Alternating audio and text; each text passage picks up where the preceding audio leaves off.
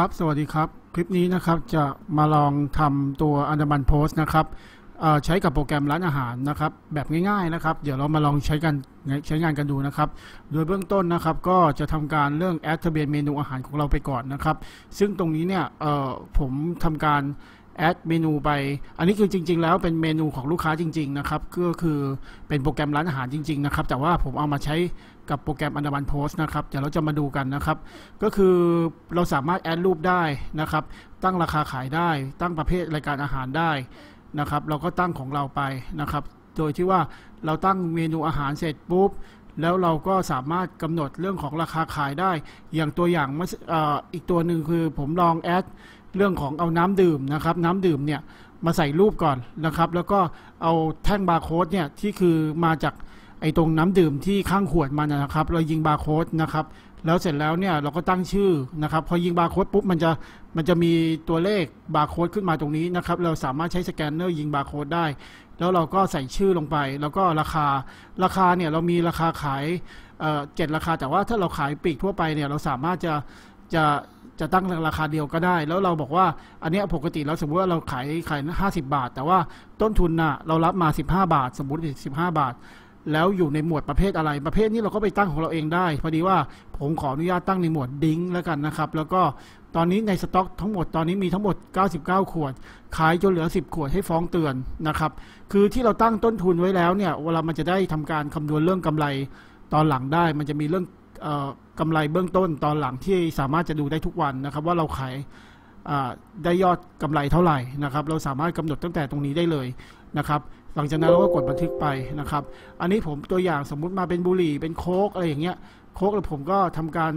เอ่อกำหนดไปแล้วนะครับ สมมติว่าผมเอาอีกนะครับ ผมเพิ่มขึ้นมาอีกนะครับ ก็ถ้าเกิดว่าผมหยิบกระป๋องโค้กมานะครับสมมติว่าผมหยิบกระป๋องโค้กขึ้นมาอันหนึ่งนะครับ แล้วก็ผมก็ลองยิงบาร์โค้ดนะครับ ก็คือหยิบกระป๋องโค้กมาเลยอะสมมุติว่าผมต่อตัวปืนยิงบาร์โค้ดผมก็ยิงเลยอ่าแล้วผมก็บอกว่า เป็นเอ้ยโทษที เป็นเป๊ปซี่แล้วกันนะครับเป๊ปซี่เป๊ปพอดีว่าโค้กผมตั้งไว้แล้วเป๊ปซี่เนี่ย ราคาเอ่อเป็นกระป๋องแล้วกันนะครับ กระป๋องละ 90 บาท สมมุติแล้วกันนะครับ ต้นทุนมา 20 บาทนะครับ แล้วก็อยู่ในหมวดประเภทอะไร เราต้องไปตั้งตั้งแต่ตอนแรกเลยตอนก่อนเปิดร้านให้มันรู้ก่อนเลย ว่าว่ามันเอ่อราคาเท่าไหร่ แล้วตอนนี้ในสต็อกทั้งหมดมีถึงร้อยกระป๋องขายจนเหลือ 10 กระป๋องให้ฟ้องเตือนนะครับ เราสามารถ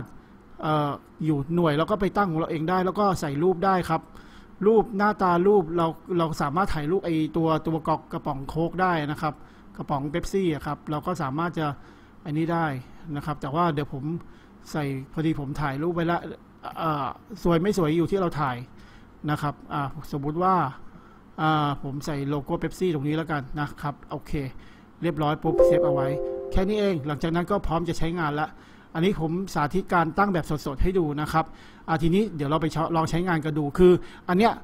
หน้าที่ผมสาธิตตอนเนี้ยก็คือหน้าเรื่องการตั้งเมนูอาหารครั้งแรก ใส่ราคาเข้าไปอะไรพวกนี้ให้เรียบร้อย หลังจากนั้นเดี๋ยวเราลองไปลองใช้งานกันดูนะครับการใช้งานเนี่ยของผมจะถ้าใช้โปรแกรมร้านอาหารใช้ในลักษณะของร้านอาหารเนี่ยผมขอปรับหน้าจอเป็นแบบทัชสกรีนคือ หน้าจอไม่เป็นทัชสกรีนก็ได้ แต่ว่าในตัวอย่างเนี่ยผมใช้เมาส์นี่ครับผมจิ้มอยู่เชื่อว่าหมวดของทานเล่นเป็นยำเป็นอะไรเงี้ยเราสามารถจะตั้งหมวดของเราได้นะครับอ่าแล้วก็สามารถยิงบาร์โค้ดก็ได้ด้วย เดี๋ยวผมลองยิงบาร์โค้ดหรือว่าขายให้ให้ดูก่อนนะครับ สมมุติว่าผมหยิบเปิดบิลมาลูกค้ามามาหน้าร้านนะครับ ยิงบาร์โค้ดเลยนะครับ ยิงบาร์โค้ดเลย สมมุติว่ามาถึงปุ๊บหยิบเป๊ปซี่มากระป๋องหนึ่งอ่าโทษทีครับ ไปตั้งขอตั้งให้มันสะดวกขึ้นนิดนึงแป๊บหนึ่งนะครับ เอาใหม่นะครับพอดีลืมตั้งเรื่องของให้มันยิงได้เร็วขึ้นแป๊บหนึ่งนะครับ เปลี่ยนแปลงไม่ได้ ตัดสต็อกด้วยโอเคอะไปตั้งใหม่แล้วนะครับ เดี๋ยวเอาใหม่ สมมุติว่าลูกค้ามาถึงปุ๊บนะครับ ผมกดปุ่มเปิดบินนะครับ แล้วก็ยิงบาร์โค้ดได้เลยครับ ก็ยิงเลย โอเคเป๊ปซี่มาแล้วครับ เอาโค้กก็ได้ครับ ยิงบาร์โค้ดอ่าเออนั้นอันนี้น้ำสิงนะครับ ผมหยิบ ผมก็หยิบอ่าโค้กมานะครับ หรือคุณจะจิ้มอาหารก็ได้ ก็จิ้มหมวดก่อนเลย สมมุติว่าผมเอาสลัดผัก เอากี่จานล่ะ เอาสมมติสองจานอะ บันทึกไป ผมเอาส้มตำหมวดยำนะครับ พอดีอันอันหมวดพวกนี้เราไปตั้งเองได้ อันนี้เป็นแค่ตัวอย่าง นะครับเพราะว่าลูกค้าของผมไปตั้งไอ้หมวดด้านข้างเนี่ยคุณไปตั้งเองได้ ราคาไอ้เมนูอาหารก็ไปตั้งเองได้ อันนี้ผมส้มตำส้มตำกี่จานอะส้มตำหนึ่งจาน เอาอะไรอีกยำปลาดุกฟูอะสมมติยำปลาดุกฟูอีกหนึ่งจาน เอาแค่นี้แหละ ถ้าเกิดเราเราต่อปรินเตอร์ก็ปริ้นออกมาได้เลยพอดีผมไม่ได้ต่อนะครับแค่นี้เองแล้วก็คิดเงินลูกค้าเท่าไหร่อะรับเงินมาพอดี หรือรับมาแบงค์พัน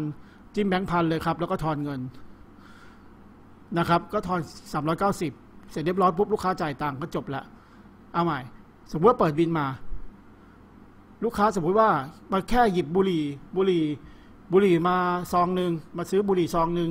ก็ยิงบาร์โค้ดเลย อ่า บุหรี่ซองหนึ่งเอาแค่นี้นะอ่าแค่นี้ก็คิดเงินเลยครับ รับเงินมา 200 บาท โอเค ทอน 70 จบล้วแค่นี้เองนะครับ เอาใหม่ เปิดบิลใหม่ จะเอาอะไรครับ สมมติว่าจะสั่งเป็นส้มตำนะครับ หนึ่งที่อ่าหมูมะนาวหนึ่งที่นะครับ แล้วก็จะเอ่อซื้ออะไรอะ ซื้อเป๊ปซี่จะยิงบาร์โค้ดก็ได้นะครับ หรือจะจิ้มข้างเอ่อเอาเมาส์จิ้มบนหน้าจอก็ได้นะครับ ยิงบาร์โค้ดเลยอ่าเอาโค้กอีกเอาเอาสองเอาสองขวดนะครับเอาสมมติเอาแค่นี้นะครับ ก็คิดเงินเลยนะครับอ่ารับมา 300 บาทนะครับหรือให้แบงค์500ก็ได้ครับจิ้มที่แบงค์500หรือคุณจะคีย์300บาทก็ได้นะครับ enter จบแล้ว แค่นี้เองครับ ยอดขายก็วิ่งเข้าสู่